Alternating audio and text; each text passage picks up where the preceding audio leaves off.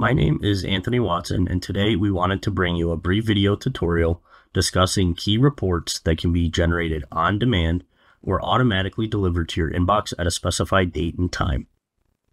Now, FactoryWiz includes over 20 reports that can be used as they are or modified using Crystal reports. Please note that the improved user interface has been updated to provide a more compact and intuitive user experience.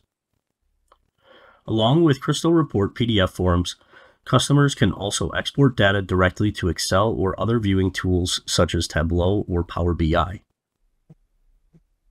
Today, I would like to focus on a key report, specifically the idle analysis. Included in the 20 plus reports, we do offer alarm summary, OEE calculations, simple uptime, preventative maintenance, and many other reports, but we're going to take a look at the downtime report in depth. As you may know, status activity data is automatically timestamped by the machine, so FactoryWiz knows the exact moment a status change such as running, idle, paused, alarm, etc. What it does not know is the why reason.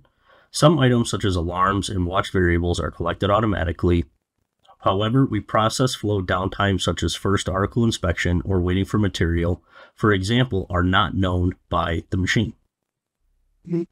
Let's dive into the idle analysis report where we break down specific reasons and find improvement opportunities to non-productive time periods. As I mentioned before, all the data is timestamped by the machines.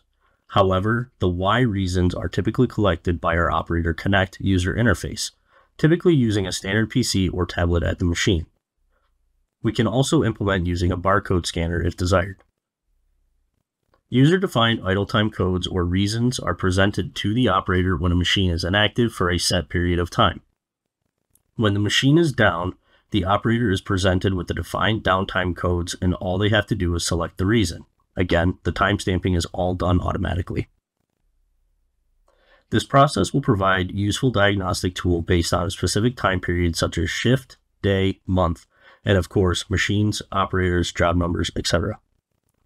This productivity tool adds visibility to process challenges that you may not have been aware of.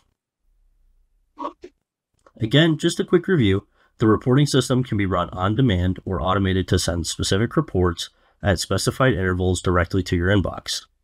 Simply choose the report you want, along with the date range specifying daily, weekly, or monthly.